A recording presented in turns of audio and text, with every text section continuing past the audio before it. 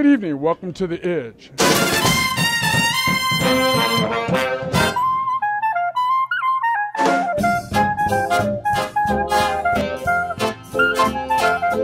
You can go anywhere and just have a steak and eat dinner. This isn't about eating dinner, it's about a dining experience. It's a culinary journey here that we take you through.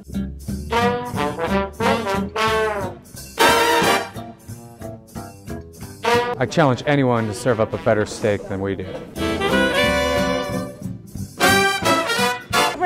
Trying to take it back to the days of the supper club where everything was bigger and better and you felt like a VIP as soon as you walked through the doors.